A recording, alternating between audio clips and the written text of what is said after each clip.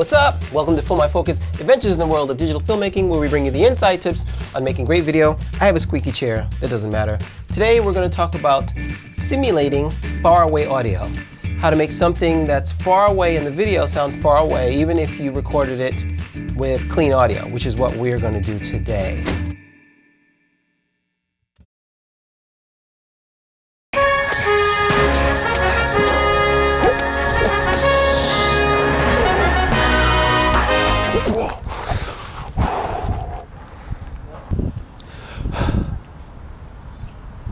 Micah, do you have to go to the bathroom?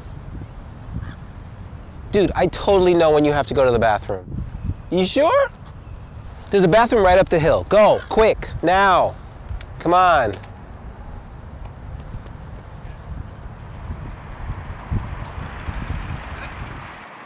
What's the matter? Nothing. Why'd you stop?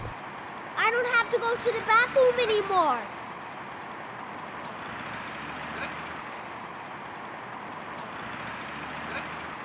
So, first things first, I'm going to give you the inside tip of the quick and dirty version of this.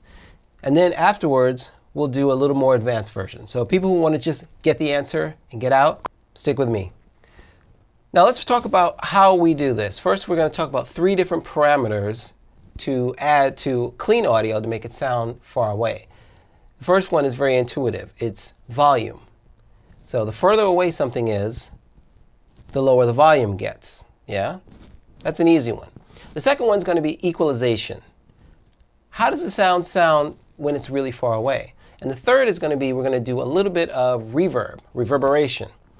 So let's get started with the first thing. First things first, let's do a little listen through to Micah's audio next to my audio in the field, the original audio. What's the matter? Nothing. Why'd you stop? I don't have to go to the bathroom anymore. Okay, so we really can't hear Micah. He wasn't mic'd at all. We, we chose not to use a wireless lav on him because he's going to end up yelling and it's still going to sound close. If you put a mic right next to him and he yells, it's going to sound close. So we opted out of that. We also could have used a boom mic on our camera, but for me, that would have picked up not only him yelling, but the whole world also. Now, if I tried to boost his level, I'd bring the noise level of the world around him, and that'd kind of be a mess to fix in post. So instead, we opted to do clean audio later and just get him uh, just yelling on the field to, to do the performance. In fact, we have um, a field recording that we had. We had a recorder running. Let's take a listen to that. It's not much better. So here's the field recorder. What's the matter? Why'd you stop? So it's still not really usable, not, not satisfactory to me. So what do we do? First thing we do is we bring Micah, we brought him back into, I brought him back into my office, and this is more of a controlled area. I have acoustic foam and a good microphone. I put him about six inches away from the microphone, then I had him repeat his performance as if he was yelling at me from a mountainside. Yeah? One of the keys is the performance that he delivers has to match the action on the screen. So don't just act like you're yelling, you really have to yell. But I brought the gain down really low on the microphone so when he yelled, it didn't peak. And this is how it sounds. So this is Micah's raw ADR. Micah, what's the matter? Nothing. Why'd you stop? I don't have to go to the bathroom anymore. Great. So that's nice and flat. So we want to start off with a nice, dry, controlled, clean sound. Now I can start adding stuff to that. The other thing I want to do is I want to make sure I get room tone. Now obviously we weren't in a room, right? We were out in the field. But I still want to get a recording of the environment so that when I mix things in to together later, it sounds like they're all coming from the same space. Well, at least it helps, okay? What if you didn't record room tone? Well, I've done this a lot of times. Sometimes you can find some room tone in other takes. So there's a moment sometimes before the cameras roll where people are kind of quiet, or even when action rolls and the actor kind of sits and thinks for a second. You could steal three seconds here, five seconds there, and then loop that, and that'll work. But generally speaking, always try and get room tone. Oh, by the way, make sure all your tracks are separate, meaning my speech is going to be on one track in Premiere, and I happen to be using Premiere. These concepts will work in other editors. You just may need to translate what I'm doing to your editor, but they're all basically the same concepts. So my voice is going to be on a separate track. Micah's voice is going to be on a separate track. My sound effects, my music, my room tone, you get the idea. Try and put everything on different tracks.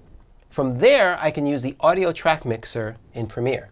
And if you haven't seen the audio track mixer, if you go up to Window and you come down to Audio Track Mixer, there it is. Now this interface is really cool because it allows me to control the volumes and the pan levels of individual tracks. And this is where the magic happens. Normally when you open this guy up, this isn't showing. This little arrow up here, show and hide effects and sends, boop.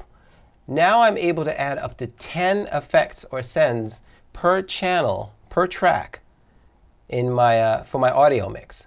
And this is important. So check this out. Volume. We want to alter the volume. Well, we don't need the effects panel to alter the volume. We can easily alter the volume with this dial here. And in fact, let's bring Micah's volume down to about negative 6 dB because it's supposed to sound like he's far away. Let's check it out. What's the matter? Nothing. Why'd you stop? I don't have to go to the bathroom anymore. Okay, it's getting there, but he still sounds like he's really close to me. So let's play with the other parameter, which was equalization. Now, high frequencies have a little bit of a hard time traveling really far distances. Low frequencies are really easy. That's why you can buy a subwoofer, stick it in the corner of your house, and it's still effective. High frequencies, little, little problem going through a lot of distance. So let's bring the highs down on Micah's voice so it sounds like he's further away. One easy way to do this is to go to his track, and I'm going to add filter and EQ, parametric equalize, equal, parametric equalizer. Now when I first click it, I add it, nothing happens, so I'm going to double click it, and now here's my interface. Don't get scared, this is really easy. The right side, the right side here represents the high frequencies, the, low, the left side represents the low frequencies, and the middle, the middle frequencies. Quick and dirty, once again, I'm going to use one of the presets. I'm going to come up to presets and choose generic low pass. And that will effectively drop that line. See how that line just dives down in the high frequencies? That means it's clamping down on the high frequencies so they don't come through. Let's just use that. Let's take that. Now you can tweak everything that I'm talking about to mold your sound to be the way want, you want it to be. Let's take a listen. What's the matter? Nothing. Why'd you stop? I don't have to go to the bathroom anymore. It's getting there. In fact, it sounds really good. Um, by the way, I'm playing it with my voice and his voice because I want to hear how his voice sounds next to my voice. Try not to edit little bits of audio in a vacuum without hearing the rest of the mix. This will help you get the uh, tune the sound just the way you want it. Now another thing, we didn't use our room tone yet. So whenever I talk, there's room because I recorded room with my voice, but whenever Micah talks, it dies. It's like this vacuum of nothingness. So let's grab some of this room tone. I actually have a little sliver of room tone because guess what? I forgot to record room tone when we were out there. So I found some room tone in other tracks and I'm going to duplicate this with the option key here a couple times. Beautiful. A lot of Premiere people have seen this before. You've done this. All right, now let's check it out. What's the matter? Nothing. Why'd you stop? I don't have to go to the bathroom anymore. Wow, it's amazing how far some room tone surrounding your audio can really bring your audio into the environment. The last thing I want to talk about is reverberation or reverb. Please do not mix up reverb and echo. They are different. Drives me nuts when I hear people do that. Anyway, let's come back up to our track editor and we're going to add reverb and we're just going to add studio reverb because that's kind of the simplest one that we have access to. I'm trying to keep this quick and dirty and simple. Double click and we have all these neat parameters. But the only one I really want to look at right now is called the wet. Okay? And the dry level is the actual source sound. The wet level is the process sound. If I bring the wet level all the way up, the dry all the way down, let's take a listen. What's the matter? Why'd you stop? All we get is the wet. Now that's just an example. We're not going to actually use that. I'm going to bring this dry back up to about 80%, bring this wet down to about, I don't know, maybe 14.3%. Yeah, that sounds good. All right, let's take a listen. What's the matter? Nothing. Why'd you stop? I don't have to go to the bathroom anymore. I think that pretty much is it. I mean, there's a lot of tweaking you can do with those three parameters, but I managed to take his raw audio that's clean and dry and just void of space and make it seem like he's talking to me on a mountain, but he's still very clear, clearly hearable. Like we can understand what he's saying. That's the quick and dirty version of this. Once again, volume, EQ, drop those highs, and throw a little reverberation. Even though we're outside, there's still going to be a little bit of reverberation from places.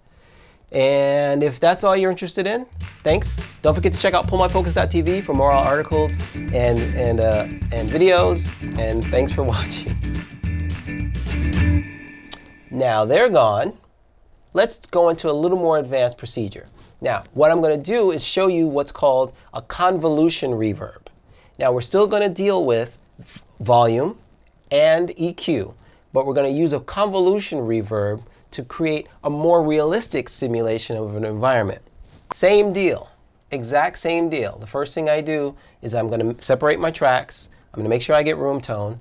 But in addition to getting room tone, I went one step further, and I'll tell you about that in a second. We open up our track mixer. We have all our tracks separated into separate things, separate separate audio. I have Micah's track right here. And so I've done the I've done the volume, I've done the EQ.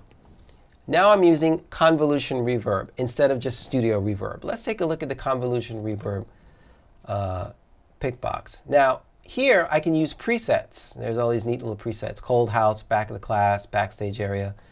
The impulse, what's called the impulse, is an actual recorded space that the algorithm gets to use to create a new simulated space. Basically, when you're using convolution reverbs, you're using the recording of an actual space, a digital recording of an actual space, which creates a better, uh, more realistic environment than, than, say, just an algorithmically created reverb, like the studio reverb that I used. That's based solely on math. Convolution is based on what are called impulses, which are basically just sound files that it uses in the process. I went one step further. You can use these. These are all presets, locker room, massive cavern, but you can record your own. And that's what I did. I went out on the field and I recorded my own convolution reverb. And there's ways to do it, quick and dirty ways. There, there, there are more advanced ways. I went the quick and dirty route. Basically, I set up my audio recorder in the space. I hit record. I waited for it to get nice and quiet, and then I made a really loud noise. And for me, it was just clapping my hands together. Some people, they'll pop a balloon or something like that. And you bring that back into the studio. And it looks something like this when it's edited.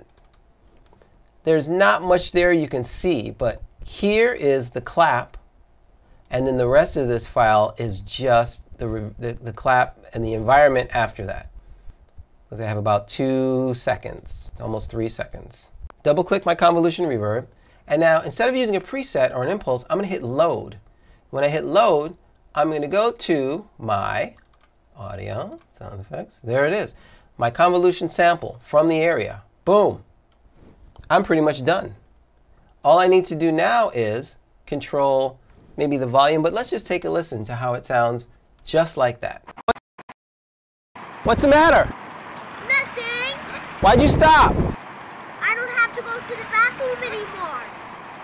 Once again, this reverb is now using the actual space and mixing Micah's voice in, creating basically what sounds like the actual space once again. Convolution reverb is an amazing thing. I think it was brought over from uh, Audition into Premiere. It's amazing for helping you take separate tracks of clean audio and putting them in an environment so they all sound similar. That's about it. Same, same procedure. Volume, bringing the highs down, and a reverb. The quick and dirty is just a simple reverb. The more advanced is a convolution reverb, and you're all set. Check out pullmyfocus.tv for all our articles and videos. Leave a comment. Let me know different ways that you come up with creating far audio, or if a convolution reverb is something that's brand new to you and you don't even know about it. Thanks for watching. See you guys.